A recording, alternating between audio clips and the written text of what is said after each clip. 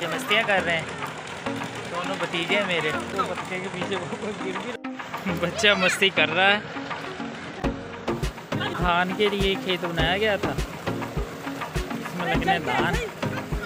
और पानी लगा हुआ है। ये बच्चे मस्ती कर रहे हैं खेल रहे। नहा रहे इसमें। मज़ा रहा नहाने का ठीक से। वो बतख तो वहाँ पे छोड़ दी तुमने यार उसको पकड़ लोगे आप? भाई ले आ इसे ले आ इसे इधर ले आ। नहीं आता इधर। नहीं पकड़ा।